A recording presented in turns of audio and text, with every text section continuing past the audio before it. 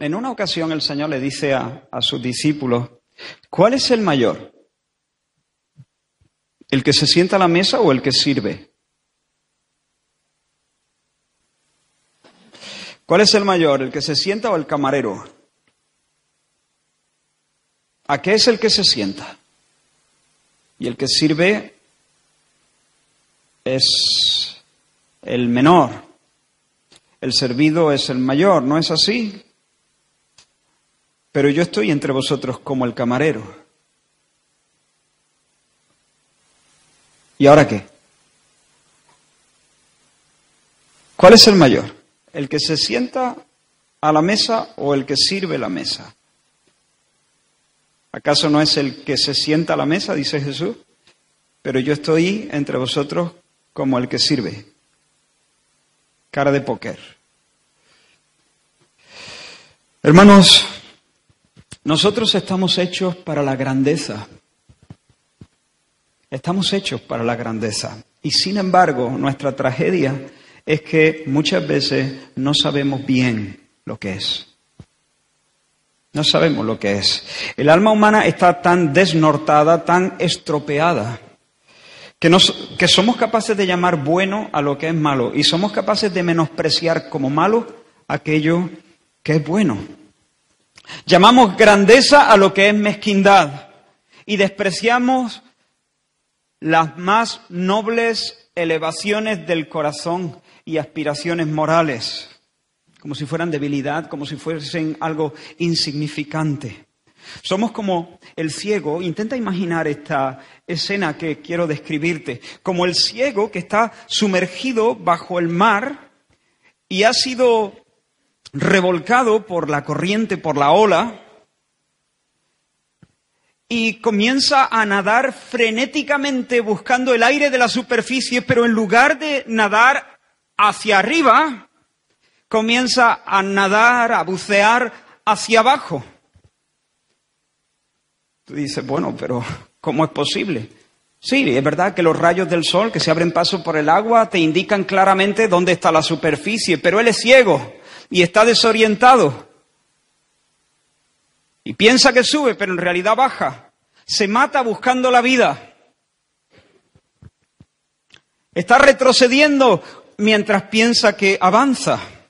Y con cada movimiento se aleja de toda posibilidad de vida. Con cada movimiento se hunde más y más.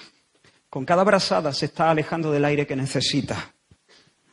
Si sus ojos pudieran ser abiertos, si de repente pudiera advertir la claridad que llega desde el cielo, entonces volvería a orientarse, se daría la vuelta y ahora sí, con el resto de su fuerza, nadaría hacia la superficie para tomar el aire. Nosotros estamos hechos para la grandeza, pero muchas veces buscándola nos estamos alejando de ella. Atiende, porque esto es para tu vida. Es para tu vida. Dios no nos llama a abandonar nuestro sueño de gran, o sea, nuestro deseo de elevación. Dios no nos llama a abandonar nuestros sueños de honra, de dignidad, de grandeza, sino lo que hace es reorientarnos, hacer que giremos, que vayamos en otra dirección, porque no es cuestión de dejar de buscar la grandeza, sino de comenzar a buscar la verdadera grandeza. Permitidme que tome unos minutos, quizás más minutos de los habituales, para repasar lo que estuvimos viendo la semana pasada. La semana pasada estuvimos viendo contrapuestas diferentes escenas, algunas de verdadera grandeza y otras de verdadera mezquindad. Primero, una visión luminosa de lo que es la grandeza según Dios. Enseguida, la negrura, la fealdad de la pequeñez moral. Luego, de nuevo, una visión de grandeza seguida de una visión de ruindad, grandeza y mezquindad, grandeza y pequeñez, contrastadas una y otra vez como para fijar bien el concepto, para fijar bien la idea en nuestras mentes. Ese es el método que se usaba en Barrio Sésamo. Para enseñar a los niños algunos conceptos. Algunos no sabéis lo que es Barrio Sésamo, supongo que la mayoría sí. Creo que era Coco el que subía unas escaleras que daban acceso a la planta alta y entonces decía, esto es arriba. Y luego descendía rápidamente a la planta inferior y decía, esto es abajo. Y enseguida subía y decía, esto es arriba. Y volvía a bajar, esto es abajo. Volvía a subir de nuevo y decía, arriba. Y bajaba y gritaba, abajo. Y eso hasta la exasperación. Esa es la sensación que tengo al leer este, este mm, texto. Parece que Marcos quiere estar contrastando una y otra vez grandeza, pequeñez. Esto es grandeza, esto es mezquindad, esto es grandeza, esto es ruindad. Grandeza, mezquindad. Grandeza, pequeñez. Vimos la grandeza en Jesús. Las masas están dispuestas a llevarlo en volandas, pero Él se aleja de las masas. ¿Por qué? Porque Él no ha venido a salir en hombros. Él ha venido a morir como el Cordero de Dios, para quitar el pecado de, su pueblo. Él ha venido a morir violentamente bajo la ira de Dios como sustituto de los pecadores y ha venido a resucitar después de tres días, al tercer día, perdón, al tercer día, para ya no morir nunca más, sino ministrar a la diestra de la majestad de las alturas como sacerdote. Y nadie tiene mayor amor que este, que uno ponga su vida por sus amigos, dice la palabra. Nadie ha mostrado jamás tal disposición de servir a otros. Qué grande el Señor. Eso es grandeza. Pero luego vimos la mezquindad de los discípulos, mientras el Señor enfila la, enfila la proa de su vida rumbo al Calvario, rumbo a la cruz, los discípulos mientras caminan hacia Capernaum, ¿qué hacen? se enganchan como pitbull en una discusión para ver quién va a ser el mayor, quién va a ser el más guapo y el más importante en el reino mesiánico que viene. Cada quien repasó su currículum, cada quien presentó su candidatura. Ávidos de grandeza mundana, se están comportando como los hipopótamos del tragabolas, compitiendo en el tablero de la vida para ver quién consigue más galones, más importancia, una posición más alta, un puesto que les asegure que no van a ser insignificantes, que no van a ser unos don nadie, que van a tener valor. ¿Sabes qué? Buscan el aire y nadan hacia el fondo. Van en dirección prohibida hacia la verdadera grandeza. Eso es pequeñez. Ya en casa, en Capernaum, Jesús les enseña que ser grandes no es ser más que los demás. ¿Puedes retener esa frase? Ser grandes no es ser más que los demás. Ser grande no es ser más importante que los demás. Ser grande no es ser preferido a otros. Ser grande no es adelantar a los demás, ser grande no es llegar primero, ser grande no es ser más conocido, ser grande no es ser más que los demás.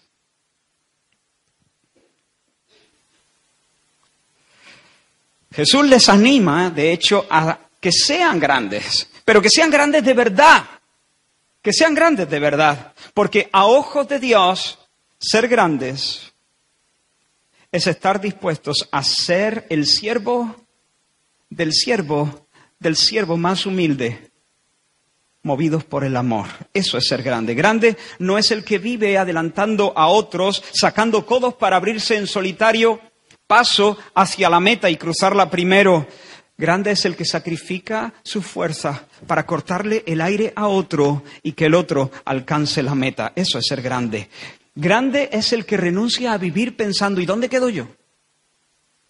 ¿Y para mí qué? Grande es el que vive preguntándose, ¿cómo puedo servirte para que tú llegues a alcanzar todo aquello que Dios quiere que alcance? Servir a todos por amor, servir a todos por amor es alcanzar las alturas.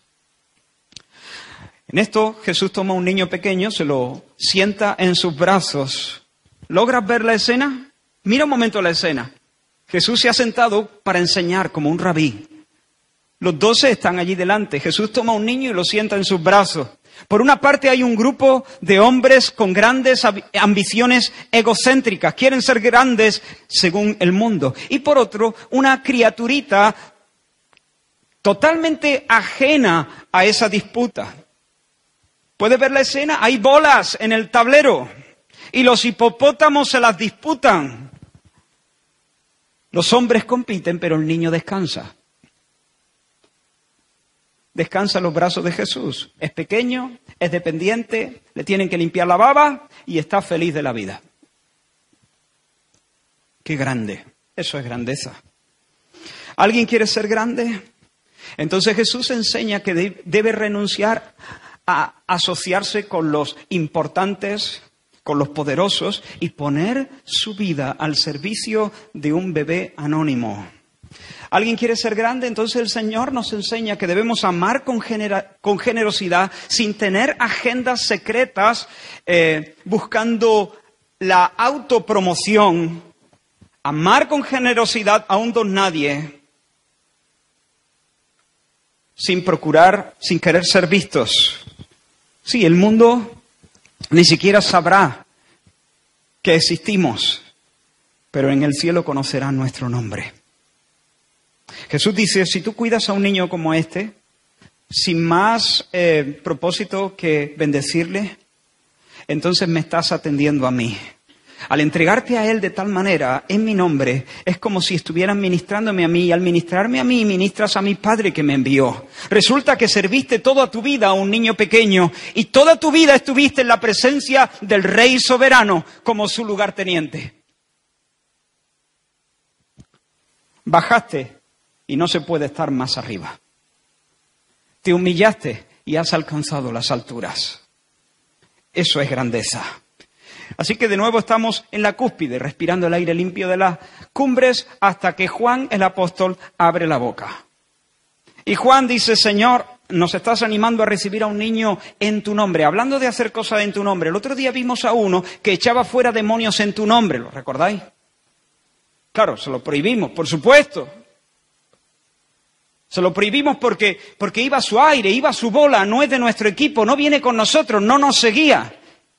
Le dijimos que no se le vuelva a ocurrir, que las cosas no se hacen de esa manera. Que si él quiere andar por ahí echando fuera demonios, entonces debe apuntarse a nuestro grupo, debe estar bajo nuestra cobertura. Eso es pequeñez. Ruindad. Jesús le dice, no se lo impidáis.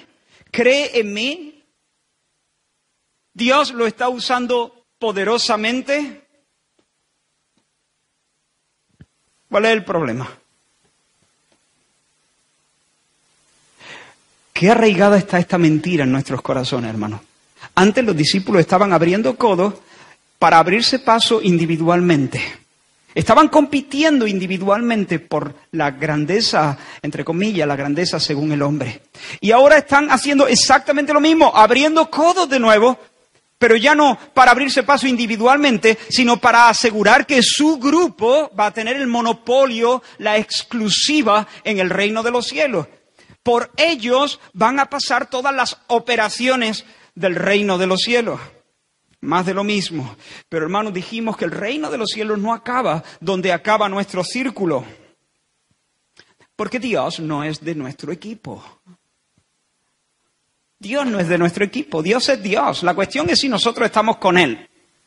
La cuestión es si nosotros vamos de su parte. La cuestión es si nosotros recogemos con Él o desparramamos contra Él. Esa es la cuestión. Así que el sectarismo, las ansias de quedarse con la exclusiva, la envidia, la rivalidad religiosa, el deseo de tener el monopolio del ministerio, que todo pase por nosotros, es nadar hacia el fondo es buscar el aire y suicidarse nadando hacia el fondo. Eso es subir hacia la pequeñez, si se puede decir de esa manera. Es subir hacia la inutilidad, hacia la esterilidad.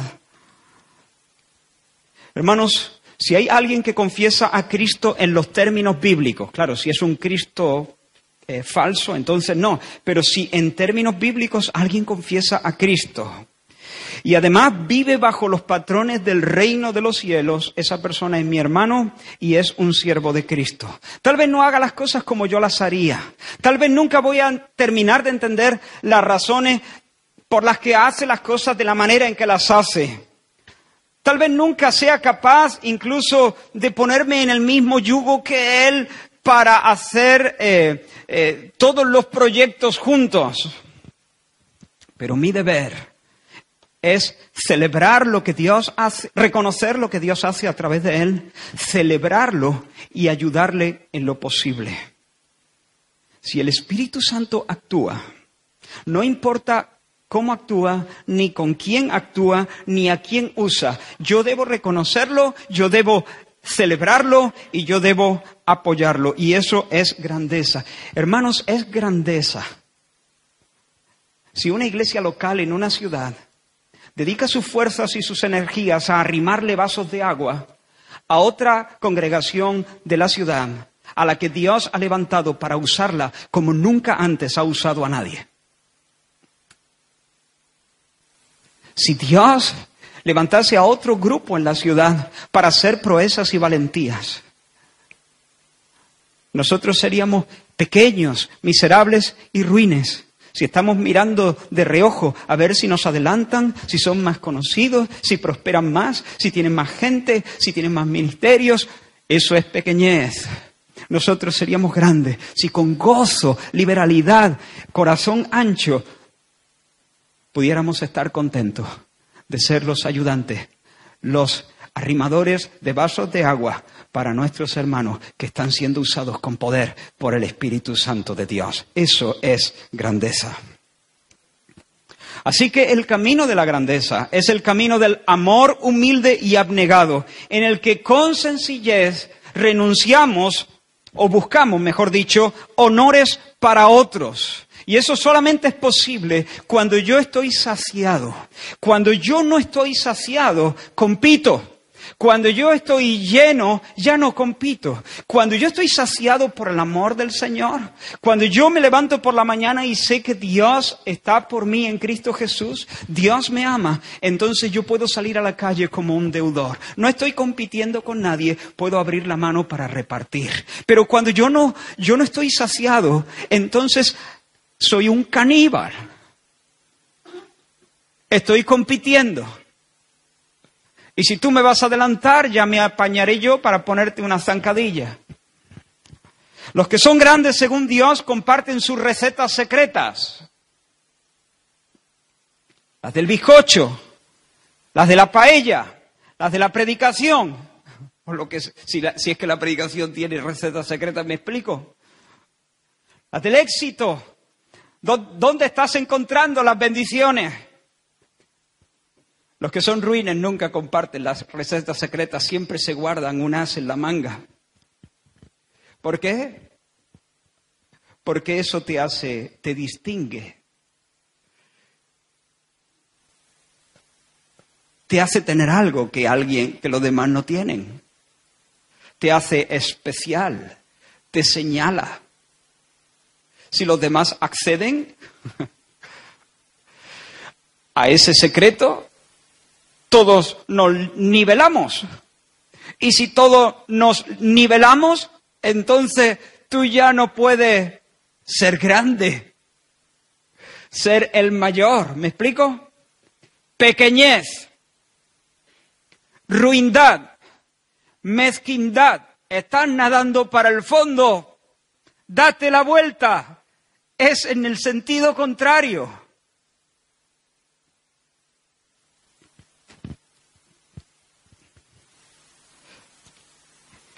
El camino de la grandeza se sube hacia abajo, sirviendo a los sin nombre, celebrando sinceramente el éxito de otros al hacer las obras de Dios, o al hacer, sí, al hacer las obras de Dios. Pero hay más, el Señor no ha terminado. Todavía hay matices importantes que el Señor quiere que, quiere que los dos se aprendan y que nosotros también aprendamos. Así que vamos de nuevo a nuestro texto, en Marcos capítulo 9, versículo 30.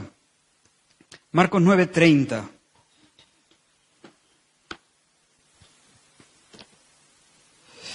Y vamos a leer desde el versículo 30 hasta el final del capítulo. Y dice la palabra del Señor, habiendo salido de allí, Caminaron por Galilea y no quería que nadie lo supiese, porque enseñaba a sus discípulos y les decía, el Hijo del Hombre será entregado en manos de hombres y le matarán, pero después de muerto resucitará al tercer día. Pero ellos no entendían esta palabra y tenían miedo de preguntarle, y llegó a Capernaum y cuando estuvo en casa les preguntó, ¿qué disputabais entre vosotros en el camino? Mas ellos callaron, porque en el camino habían disputado entre sí quién había de ser el mayor. Entonces él se sentó y llamó a los doce y les dijo, si alguno quiere ser el primero, será el postrero de todos y el servidor de todos. Y tomó a un niño, lo puso en medio de ellos y tomándole en sus brazos les dijo, el que reciba en mi nombre a un niño como este, me recibe a mí, y el que a mí me recibe, no me recibe a mí, sino al que me envió. Juan le respondió diciendo, Maestro, hemos visto a uno que en tu nombre echaba fuera demonios, pero él no nos sigue. Y se lo prohibimos porque no nos seguía. Pero Jesús dijo, no se lo prohibáis porque ninguno hay que haga milagro en mi nombre que luego pueda decir mal de mí. Porque el que no es contra nosotros, por nosotros es. Y cualquiera que os diere un vaso de agua en mi nombre, porque soy de Cristo, de cierto os digo que no perderá su recompensa. Hasta ahí hemos desarrollado el pasaje. Pero a partir de aquí entramos en un matiz nuevo, o en algunos matices nuevos. Cualquiera que haga tropezar a uno de estos pequeñitos que cree en mí, Mejor le fuera si se le atase una piedra de molino al cuello y se le arrojase en el mar. Si tu mano te fuere ocasión de caer, córtala. Mejor te es entrar en la vida manco que teniendo dos manos ir al infierno, al fuego que no puede ser apagado, donde el gusano de ellos no muere y el fuego nunca se apaga. Y si tu pie te fuere ocasión de caer, córtalo. Mejor te es entrar a la vida cojo que teniendo dos pies ser echado en el infierno, al fuego que no puede ser apagado, donde el gusano de ellos no muere y el fuego nunca se apaga. Y si tu ojo te fuera ocasión de caer, sácalo. Mejor te es entrar en el reino de Dios con un ojo que teniendo dos ojos ser echado al infierno, donde el gusano de ellos no muere y el fuego nunca se apaga. Porque todos serán salados con fuego y todo sacrificio será salado con sal. Buena es la sal. Mas si la sal se hace insípida, ¿con qué la sazonaréis? Tened sal en vosotros mismos y tened paz los unos con los otros. Es un texto difícil, por lo menos para mí. La grandeza implica estar tan preocupados por la salvación del otro que estemos dispuestos a vivir en una constante vigilancia, en una constante autodisciplina, a fin de no ser una mala influencia para ellos. Lo voy a repetir. Ser grande es estar tan preocupado por la salvación y la salud espiritual del otro que yo esté dispuesto a hacer cualquier cosa con tal de no ser una piedra de tropiezo para él. Ser descuidados espiritualmente, es decir, no prestar demasiada atención a nuestra salud espiritual, a nuestra santidad, a nuestra imitación de Cristo, a nuestro ejemplo piadoso. Vivir de esa manera descuidadamente es ser mezquinos, es ser pequeños, es ser ruines. Ahora, el propósito más alto que debe, que debe estar en nuestro corazón al perseguir la santidad es agradar a Dios. Complacer a aquel que nos amó, que nos lavó de nuestros pecados, que nos compró con su sangre, que nos ha hecho para Dios reyes y sacerdotes. Es decir, la motivación número uno para limpiarte de todo pecado, para abstenerte de, toda mal, de, todo, de todo mal, para santificarte debe ser agradar a Dios, responder al amor de Dios con tu amor. Pero hay otro motivo poderoso, no es el primero, pero es el que va detrás. La motivación de no afectar a mi hermano de no dañar su fe, de no ponerle un palo en la rueda a su progreso espiritual, de no ser para, él una mala influencia, de no ser un mal ejemplo para mi hermano. Ese es un poderoso, una poderosa motivación para vigilarse a uno mismo, para disciplinarse a uno mismo y para combatir el pecado en nuestros propios corazones. Jesús había dicho, cualquiera que en mi nombre recibe a un niñito como este, me recibe a mí. Y ahora va a decir un poco lo mismo, va a reforzar esa misma idea, pero desde el ángulo inverso. Y cualquiera que le haga tropezar, la parte positiva, recibir, cuidar, ministrar a un niño como este. Pero la parte, digamos, negativa, desde, desde la cara B, desde el ángulo inverso, cualquiera que le dañe.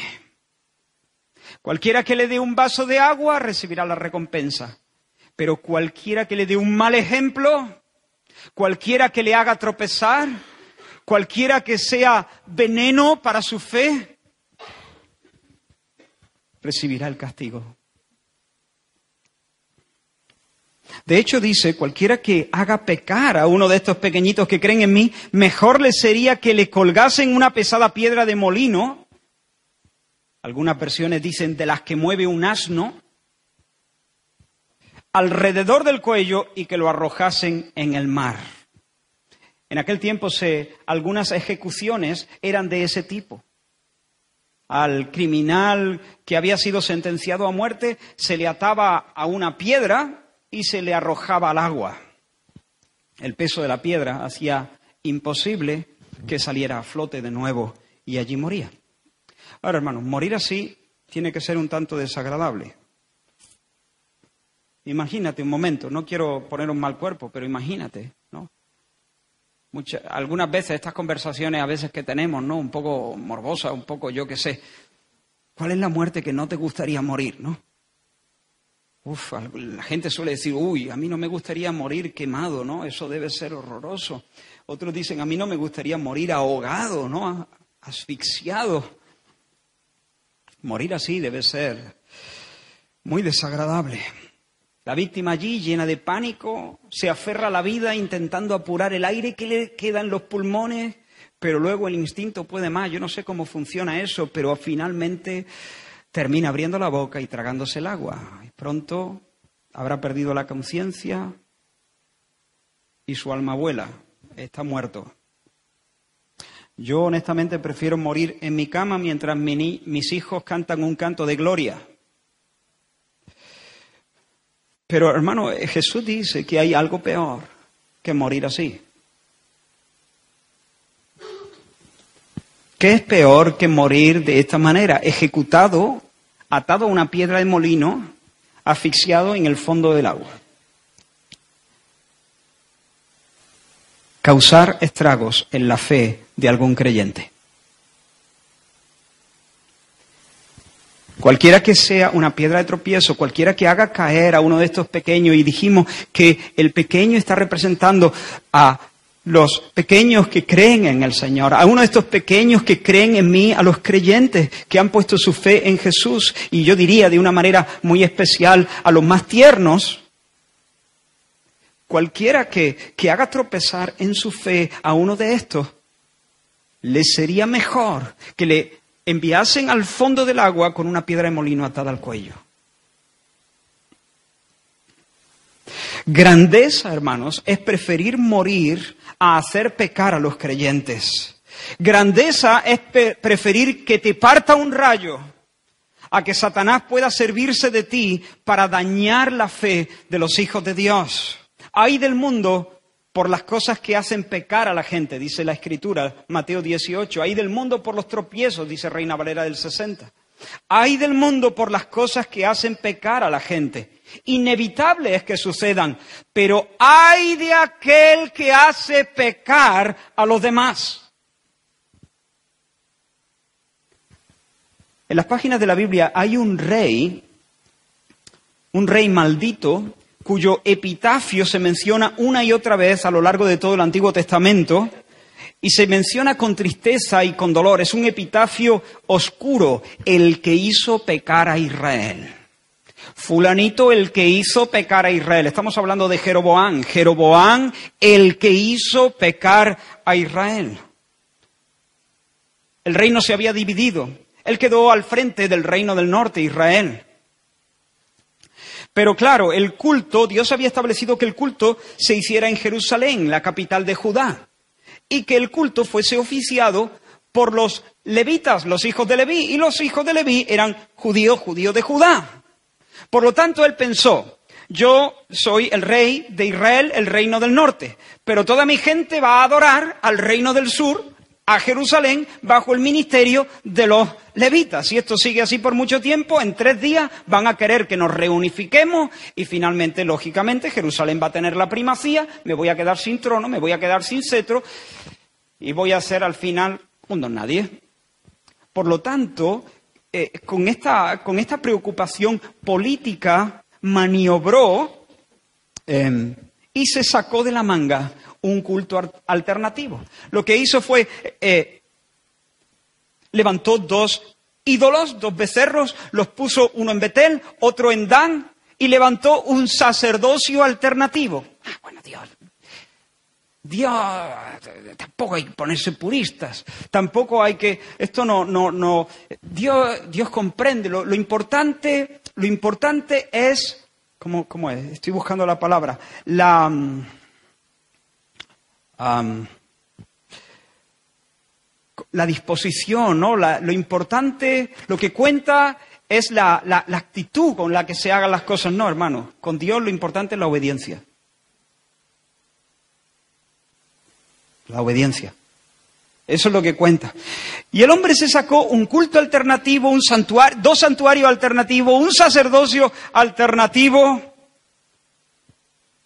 Por supuesto, él no le puso la pistola a nadie en, Israel y le dijo, tienes que ir a adorar a Adán bajo el ministerio de un, de un sacerdote que no tiene autorización divina, pero porque lo digo yo. Así que, como te estoy encañonando, tienes que ir a Adán a adorar. Él, él no hizo eso. Pero hermanos, cuando al disponer en las cosas de esa manera, fomentó la apostasía, incitó al pecado, Quería ser grande y fue el más miserable. Quería la gloria y sin embargo nadó hacia el fondo. Quería grabar su nombre en la historia y por cierto que lo grabó. Jeroboán. Aquí yace el que hizo pecar a Israel. Aquí yace el hombre pequeño. Aquí yace el hombre miserable que arruinó la fe y la devoción de muchos. ¿Me explico? La Biblia dice el mundo está lleno de tentaciones, pero hay de aquel que anima a otros a pecar. Hay de aquel que con su comportamiento, con sus palabras, con su enseñanza, con su ejemplo, incita y fomenta el pecado. Hay de aquel. Hay del hijo que miente. Pero hay del padre que con su vida le enseña a su hijo que a veces es necesario mentir para salir de apuros. Hay de aquel que camina en medio del pueblo de Dios. Presta atención hay de aquel que camina en medio del pueblo de Dios sin prestar atención a sus contradicciones y sin hacer nada al respecto. Hay del que piensa que la santidad de cada uno es cosa de cada uno. Hay del que nunca se ha parado a pensar que el desastre en que se ha convertido tu, tu matrimonio puede hacer tropezar a muchos no te da nada que tu cara larga lesione la fe de los pequeños. ¿Se entiende? Este es un asunto solemne. Es un asunto solemne. ¿No te importa que tu falta de compromiso con la iglesia no te importa que tu falta de compromiso con los hermanos, que tu vida suelta, sin compromiso, guardando la distancia, sea una nefasta influencia para los que están cerca de ti. ¿No te importa que tu falta de calor espiritual, que tu falta de fervor espiritual sea una maldición en medio del pueblo de Dios. Benditos los padres que estiraron el sábado para poder estar aquí el domingo. Y no solo para honrar a Dios, sino para alimentar la fe de sus hijos. Para honrar a Dios primero y alimentar la, fe de sus hijos después y estimularlos al amor y estimularlos a la piedad y estimularles a la devoción verdadera, al respeto a Dios, a la honra a su nombre. Y no solo de sus hijos, sino de sus hermanos también. Y no solo de sus hermanos, sino de los hijos de sus hermanos. Que el Señor tenga misericordia de los que piensan que lo que hacen es asunto suyo. No, lo que haces es asunto de todos. Lo que yo hago es asunto tuyo también. Hay de los falsos maestros que buscan sus lecciones más allá de la Biblia y acomodan su enseñanza al gusto de la época.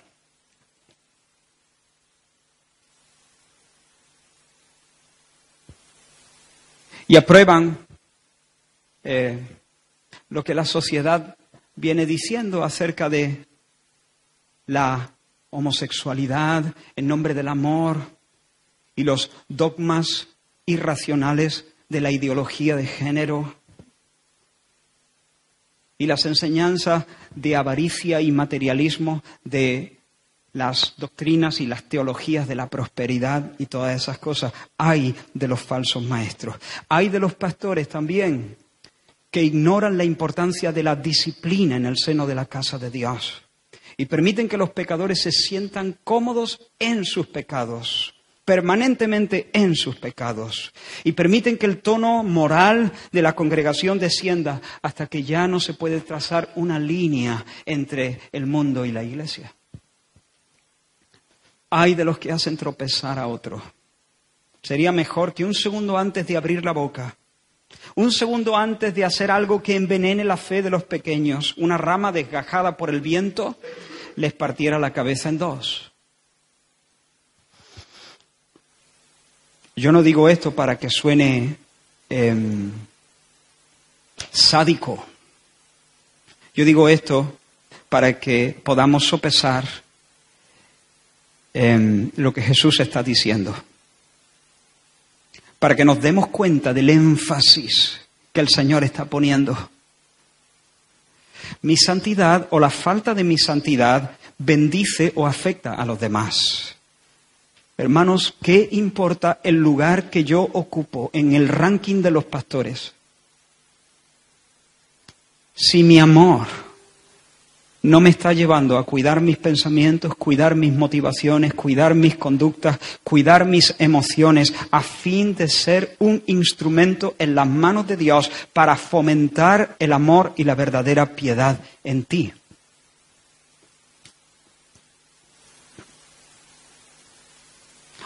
Mientras pensaba en esto, recordé em, una vigilia a la que fui invitado en un campamento. Yo era el predicador en ese campamento y por la noche, no sé si fue el sábado, hicieron una vigilia de oración. O no sé si fue el viernes, no lo sé. Lo único que recuerdo es que yo no tenía pilas ya. Estaba totalmente exhausto. No tenía fuerza no tenía, ni siquiera me concentraba, no podía pensar. Eran las doce, no, la una de la madrugada y yo sencillamente no estaba. No estaba en la oración, no podía, no podía orar. Le dije, Señor, dame fuerzas, quiero orar de verdad. Y de repente ni terminé la frase porque yo estaba totalmente, estaba exhausto.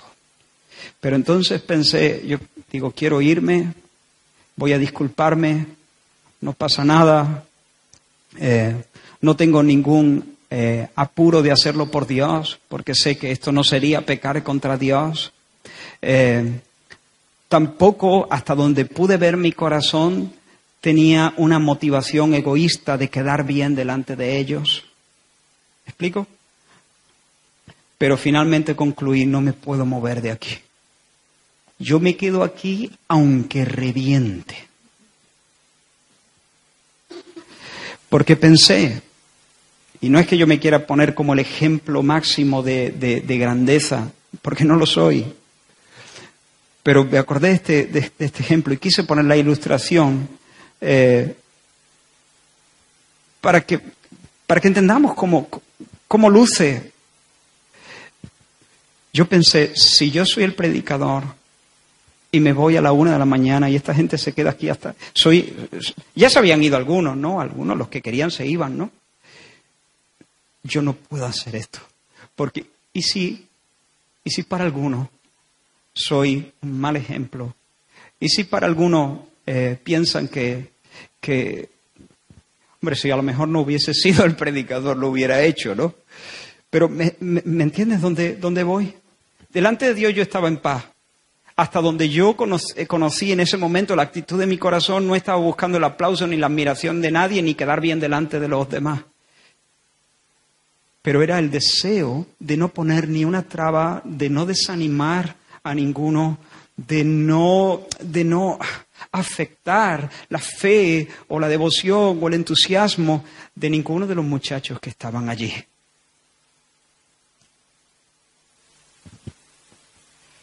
Y casi reviento, pero bueno, sobreviví y creo que el Señor se agradó Creo que el Señor se agradó. Mi oración, malísima. No, yo creo que ni siquiera pude orar. Pero creo que el Señor se agradó. Hermanos, el camino de la grandeza pasa por hacer lo que haga falta para colocarnos en una posición en la que nosotros podamos decir a otros, sed imitadores de mí, así como yo soy imitador de Cristo. Jesús sigue diciendo, si tu mano te fuera ocasión de caer, córtala. Es mejor entrar a la vida sin, mano o con una mano que ser echado con las dos al infierno. Si tu pie te es ocasión de caer, córtalo. Es mejor entrar cojo a la vida que entrar con los dos pies al infierno. Si tu ojo te es ocasión de caer, entonces sácalo. Es mejor entrar con un solo ojo a la vida que ser echado en el infierno donde el fuego no se extingue, el gusano no muere. Ahora, hermanos, quien es grande, hemos dicho, lucha por no ser una piedra de tropiezo. Y para eso se disciplina a sí mismo y se sigue disciplinando a sí mismo y se mantiene lejos de aquello que pueda contaminarle y convertirle en un mal ejemplo. Mirad, el que puede pecar sin demasiados problemas delante de otros, o bien ignora la tragedia del pecado o no ama en absoluto a los demás. El padre que puede nifar cocaína delante de su hijo, o no sabe el daño que hace la cocaína, no sabe lo que, lo que está haciendo, o no ama en absoluto a su hijo. ¿Se entiende bien, no?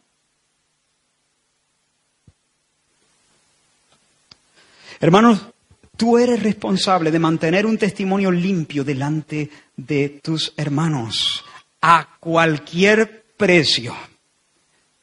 Y si para mantener el testimonio limpio delante de tus hermanos, por amor a ellos, para mantenerte en una posición en la que siempre puedas decir, imitadme a mí como yo imito a Cristo. Si para eso tienes que amputar, entonces hay que amputar. Grande es la persona que dice no puedo pecar, yo no le puedo hacer esto a Dios, yo no le puedo hacer esto tampoco a mi hermano. Haré lo que sea preciso para andar como Dios manda, de tal manera que el nombre de Dios y la doctrina de Dios no sea blasfemada, pero también para que mi hermano no sea dañado,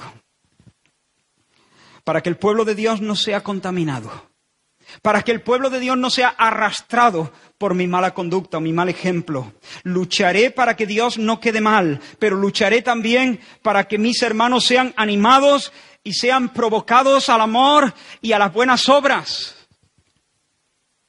Ahora, ¿a qué se refiere el Señor cuando habla de amputar la mano o el pie o sacarse el ojo? Por supuesto, y, y atención aquí, Jesús no está queriendo que nosotros entendamos estas cosas de manera literal, porque de hecho si nosotros literalmente nos cortásemos una mano o un pie o nos sacásemos el ojo, no habríamos resuelto el problema de la tentación y el pecado, porque la lujuria no está en el ojo. Tú te puedes sacar los dos ojos para darte cuenta que la lujuria está en tu corazón. La codicia no está en la mano. La codicia está, es un asunto del alma. Por lo tanto, Jesús no está queriendo decir que literalmente tengamos que cortarnos una mano. Se han dado casos en la historia donde algunas personas, no sé, no sé qué clase de hermenéutica eh, tenían, llegaron a cortarse eh, las manos o sacarse los ojos. Pero como decimos, el problema es mucho más profundo. ¿Qué está queriendo decir el Señor? Pues hermanos, está queriendo decir que nuestra batalla contra el pecado debe ser tan seria, nuestra guerra debe ser tan solemne, tan contundente, que no solamente debemos combatir contra el pecado, sino que debemos remover de nuestra vida todo aquello que pudiera ser ocasión de pecado, sin importar el costo, cueste lo que cueste, debemos asediar el pecado, de, tal de, igual manera que el pecado nos asedia a nosotros. Debemos cortar las fuentes del pecado.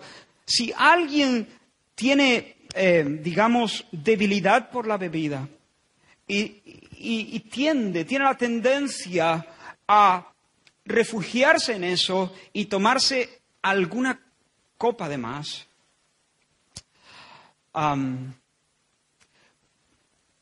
la guerra tiene que ser tan violenta, tan seria, tan contundente, que no solamente debemos combatir contra el pecado mismo, sino cortar las fuentes de las que se alimenta y a lo mejor tomar decisiones tan radicales como no entrar al bar. Porque si tú sabes que estando allí ¿Se despiertan todas tus pasiones? Serías un miserable, un pequeño, si no te cuidas, al punto de no pisar el bar, para no ser seducido, para no ser un mal ejemplo en medio del pueblo de Dios. Mantente en un lugar donde pueda ser un estímulo a la fe, un estímulo a la santidad, un estímulo a la piedad. Y si para eso tienes no solo que luchar contra el pecado, sino luchar contra la fuente, entonces dar una patada al bar, bueno, es simbólico también, ¿eh? Qué pobrecito él. Renuncia a eso. Si para eso tienes que no tener internet en casa, no tengas internet en casa. Todos nosotros hemos vivido sin internet en casa, menos algunos jóvenes que no saben lo que es no tener internet. Aquellos días donde uno tenía tiempo.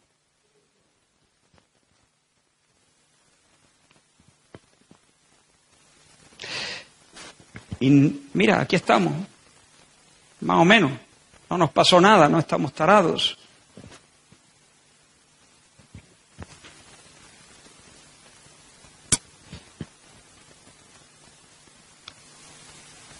Si me amas, ten cuidado de ti. Si me amas, ten cuidado de ti. Si yo te amo, debo tener cuidado de mí. No solo de lo que hago cuando tú estás presente, sino de lo que soy cuando nadie me ve.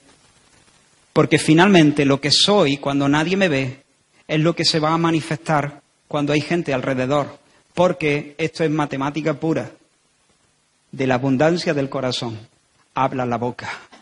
Y si yo me lleno de, yo dejo que mis pasiones se desaten dentro de mí, entonces sí o sí todo eso se va a manifestar en medio de la congregación de los santos, en medio de mi casa, en medio de los hijos de Dios, Damari, Garrido, Samuel Sanz, Elías Sanz. ¿ah?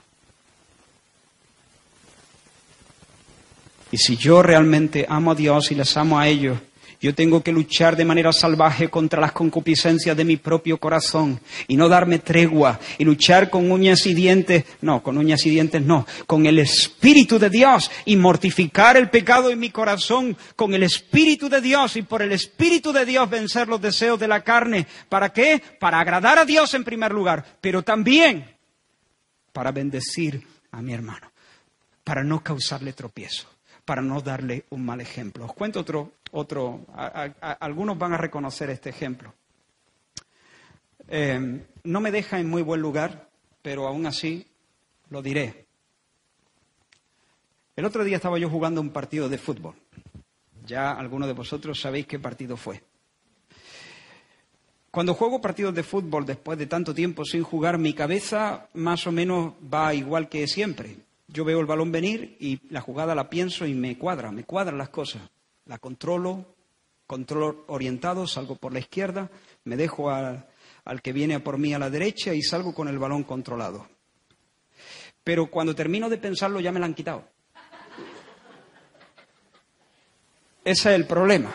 Entonces yo intenté hacer una de estas, salía trompicones del primero, pero el segundo o el tercero ya no me acuerdo porque yo solo miraba el suelo y la pelota. me la quitaron. Y ese fallo supuso un gol, un gol en contra. El que era nuestro portero, que el Señor lo perdone, un muchacho no creyente, se desató en maldiciones, ¿no? Parecía que de repente se había endemoniado, ¿no? Bueno, no puedo decir aquí las cosas, ¿no? Pero bueno, por los gestos ya, ya me, me estáis pillando. Dio un golpe al poste tanto regatear, tanto regatear, tanto regatear, pásala de cara. Bueno, empezó a decir un montón de cosas. En ese momento me entró el espíritu de fines. No, el espíritu de fines no. Yo fui tentado grandemente a responder.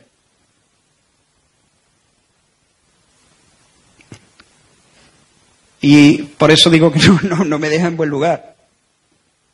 Yo fui tentado a responder, a decirle que se callara la boca.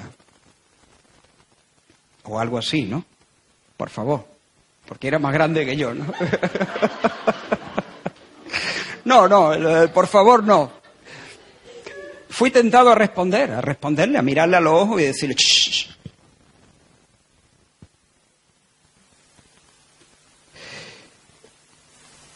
Pero me di cuenta lo que la batalla que había de repente fue cosas de segundos, ¿no? Pero en ese momento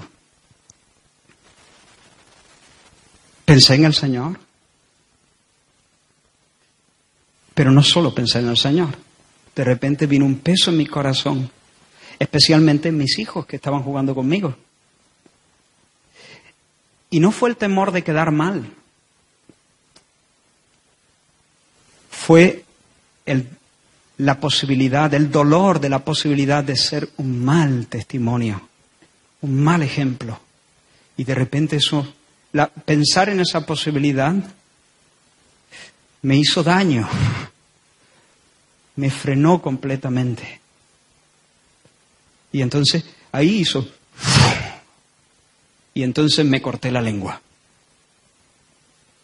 me amputé la lengua metafóricamente. ¿Se entiende? Y enseguida, a los 20 segundos, yo ya estaba tranquilo, relajado, seguía perdiendo balones, intenté hacerlo bien, me esforcé todo, todo, todo, lo que pude para no llevarme más bronca. Me esforcé tanto que al día siguiente tenía fiebre. Y me dijo Danbury, eh, bueno, eso tiene que ser algún virus, alguna cosa que te... Digo, Damaris, no. Ha sido el fútbol. Déjame que duerma un rato. Efectivamente, fue el fútbol. Descansé un poco y me levanté ya tranquilo.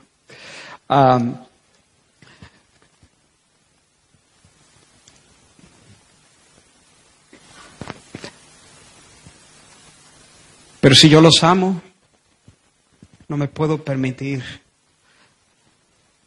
no me y si lo hago y si caigo, porque muchas veces caemos, tú y yo muchas veces caemos, entonces necesito arrepentirme y dolerme y venir al Señor y arreglar las cosas con Él. Y a veces venir a mis hijos o a mi esposa o a mi hermano y decir, perdóname. En la última reunión de consejo que tuvimos, una persona dijo, hermanos, en la reunión de consejo anterior, yo hablé de un asunto que estábamos tratando y mis palabras no fueron justas. No estoy usando las palabras literales, pero más o menos así. Os pido disculpas, os pido perdón. Ese es el asunto. Honrar al Señor, pero también cuidar el testimonio hacia el hermano. Esto no es querer quedar bien. Hermano, tienes que hacer ajustes. ¿Te está llamando Dios a hacer amputaciones? ¿A cortarte la mano o la lengua? ¿O sacarte el ojo? Hazlo. Sé radical. No tengas compasión. Pega el tajo. Cuanto antes mejor. Cuanto antes mejor. No vayas por etapas. No digas, me voy a cortar un cachito de lengua y mañana me corto otro. Se sufre más así. ¿No? ¿Tú qué preferirías? ¿Cortarte el pie con un cuchillo de sierra o con un hacha?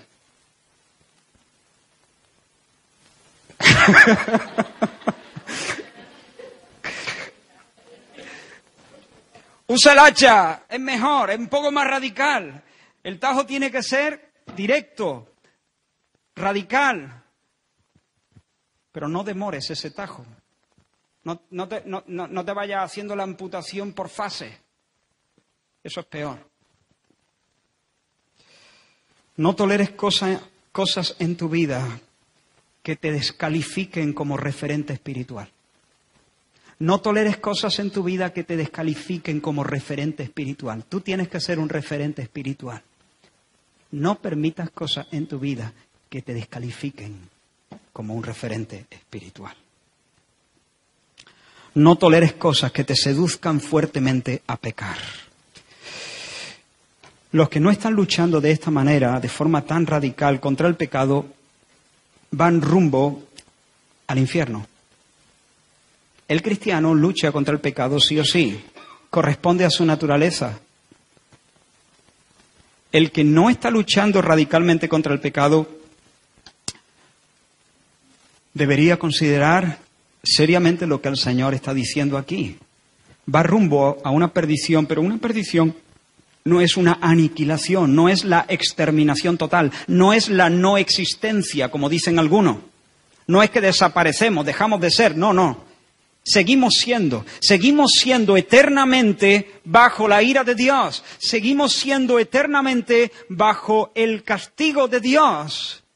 Un lugar de sufrimiento sin tregua, un lugar de sufrimiento sin paliativos. Seguimos siendo eternamente, por siempre jamás, viviendo en una tierra donde nadie ama y por lo tanto todos son caníbales. Y llegamos a la parte final, y no quiero detenerme demasiado aquí, pero entramos en unos versículos muy, muy difíciles.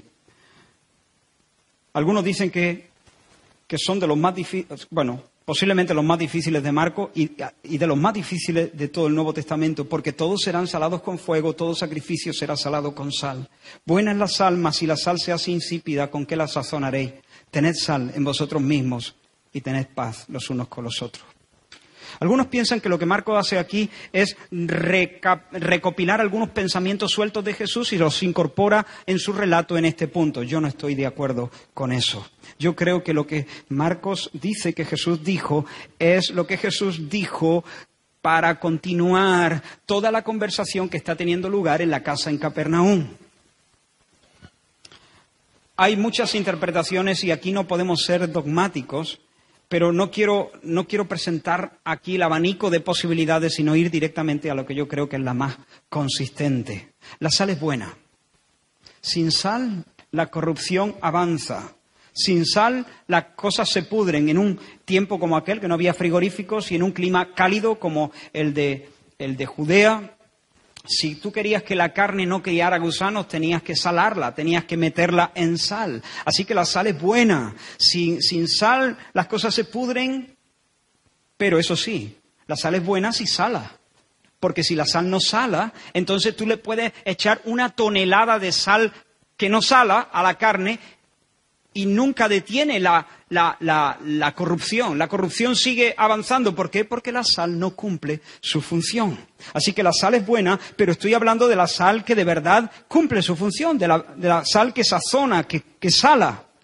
Tened sal en vosotros mismos. Si no tenéis sal en vosotros mismos, criaréis gusanos. ¿Por qué? Porque hay restos de pecado en vosotros que como no seáis cuidadosos, van a echar a perder no solamente vuestra, eh, vuestro testimonio, sino van a echar a perder vuestras almas inmortales, que haya sal en vosotros. Es decir, dejad que la gracia os capacite para darle muerte al pecado. Dejad que la gracia os, os capacite para matar las ambiciones egoístas. Dejad que el Espíritu produzca en vosotros el carácter de Cristo, la virtud de Cristo. Dejad que la palabra del Señor morando en vosotros os santifique, os guarde de la corrupción. De tal manera que podáis ser guardados de la, podredumbre del mundo y al mismo tiempo que podáis ser colocados en, ese lugar donde podéis ser sana influencia para los demás. ¿Me seguís? Así que no seáis sosos, no perdáis el sabor, no dejéis nunca de ser agentes que frenen el avance de la corrupción. Sed un freno contra el pecado, sed una barrera que impida que cunda la infección. Hay corrupción por todas partes, pero tened sal en vosotros. Ninguna palabra corrompida. Mira, habla aquí de corrupción. Ninguna palabra podrida, ninguna palabra corrompida salga de vuestra boca, sino la que sea buena para la necesaria edificación. Y esto lo dice Pablo a los Efesios. Y a los colosenses les dice algo, pero en sentido inverso. Dice, sea vuestra palabra siempre con gracia, sazonada con sal. Lo contrario que es hablar palabras que están podridas, ser un agente de corrupción, hablar y cada vez que hablamos manchamos, cunde la gangrena, cunde la infección. Lo contrario es hablar y cada vez que hablamos nuestras palabras vienen sazonadas, vienen con sal, vienen con gracia. Son una influencia que preserva, que detiene la corrupción, que le pone freno al pecado. Y allí donde está la sal, la corrupción no avanza. Esa es la idea. Tened sal en vosotros mismos. Así que lejos de ser una piedra de tropiezo para otros, debéis vivir cada uno de vuestros días siendo sal, teniendo sal, deteniendo la corrupción, siendo una influencia santificante en medio del lugar donde Dios te ha sembrado. Esa es la idea. Disciplínate, mantenga a raya tus pasiones, mortifica el pecado para que no pierdas el sabor. Y ahora llegamos al versículo más complicado todos serán salados con fuego, y todo sacrificio será salado con sal. Y termino con esto. Bajo la economía del Antiguo Testamento, las ofrendas, las que se presentaban sobre el altar, debían ser sazonadas con sal. Levítico mm, capítulo 2 dice, y sazonarás con sal toda ofrenda que presentes, y no harás que falte jamás de tu ofrenda la sal del pacto de tu Dios. En toda ofrenda tuya ofrecerás sal. Esto se hacía especialmente para expresar simbólicamente, claro, la pureza de la ofrenda, que ahí no había podredumbre, no había pudrición, eh, la dulzura, la sanidad, sanidad de la, de, la, de la carne, del sacrificio que se ofrecía, y por lo tanto Dios podía aceptarlo con agrado. Pues de la misma manera, la idea es esta, de la misma manera que los sacrificios que se ofrecían en el Antiguo Testamento debían estar acompañados de sal para que Dios los recibiera, ahora bajo el nuevo pacto, en el Nuevo Testamento, los creyentes que somos ofrendas vivas para el Señor, tenemos que ser salados. Pero ¿cuál es la sal que se nos echa para salar? Seremos salados con los sacrificios eran salados con, hay que salar este sacrificio. ¿Y qué le he hecho? Pues sal. Pero ahora los sacrificios vivos en el Nuevo Testamento dice, serán salados con fuego. Y lo que yo creo que aquí el Señor está diciendo es que el Señor de manera providencial también está cuidando nuestras vidas edificando y purificando nuestra fe, manteniéndonos en un lugar donde podamos realmente estar de pie como una influencia benigna. Y Él usa la prueba él usa el fuego de la prueba, como dice Pedro en su primera carta. Amados, no sorprendáis del, del, fuego de prueba que os ha sobrevenido. Y un poquito antes, en el capítulo 1, ha dicho, para que sometida a prueba vuestra fe, mucho más preciosa que el oro, el cual, aunque perecedero se prueba con fuego, sea hallada en alabanza, gloria y honra cuando sea manifestado Jesucristo. Así que, hermanos, podemos sentirnos felices aun cuando estemos en medio del dolor. Porque la tribulación, ¿alguien está tribulado aquí? La tribulación produce paciencia, perseverancia. Y la paciencia nos hace maduros. Y al ser maduros vivimos llenos de esperanza. Estoy citando con mis palabras Romanos capítulo 5, versículos 3 y 4. La tribulación produce perseverancia. Y al ser perseverante, la perseverancia nos lleva a ser cristianos maduros. Y al ser cristianos maduros, entonces podemos vivir pletórico de esperanza. Y la esperanza no defrauda, la esperanza no avergüenza, porque el amor de Dios ha sido derramado en nuestros corazones por el Espíritu que nos ha sido dado. Si no estamos, mientras nosotros en medio de las aflicciones portamos la cruz, resistimos la tentación, soportamos la prueba echando mano de la gracia que Dios nos da. Nuestra alma se purifica, venimos a ser agradables a Dios y venimos a ser útiles en su reino. Si nosotros no estamos dispuestos a llevar la cruz, a combatir el pecado hasta la amputación, si no estamos dispuestos a abstenernos del mal, a soportar la presión del mundo, hemos llegado a ser sal que no sala. Y un cristiano que no es una influencia santificante, no es cristiano, porque ser cristiano y ser una influencia santificante es, son sinónimos. El cristiano es la sal, es la sal del mundo. Un cristiano que no es una influencia santificante es una contradicción. Pero si tenemos sal, el mal retrocede.